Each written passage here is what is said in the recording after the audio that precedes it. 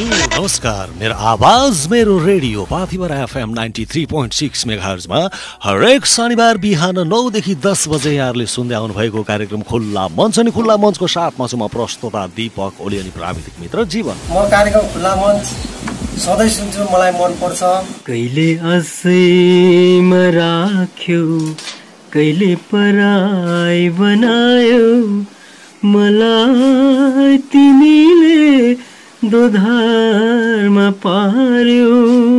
के भयो के भयो के भयो के भयो चट्ट चट्ट हो।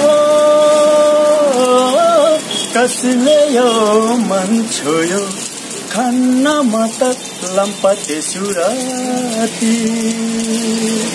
लौ कि नलौ जाने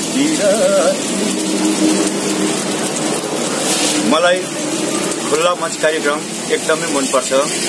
यो कार्यक्रमले ओजेलो भएको प्रतिभालाई चिनाउने काम गर्दछ। उहाँ त कार्यक्रम खुल्ला मञ्च सधैँ सुन्नुहुन्छ। तपाईँसँग पनि राम्रो ट्यालेन्ट छ प्रतिभा छ। तपाईँको ट्यालेन्टलाई लाखौँ श्रोतामाझ पस्कन सक्नुहुन्छ। मात्र Pathibhara FM ninety three point six पाँच चौरासी छ सौ पाँचमा यहाँले कन्ट्याक्ट गर्न सक्नुहुन्छ। कार्यक्रम खुल्ला मञ्च म दिपक ओलीको साथमा।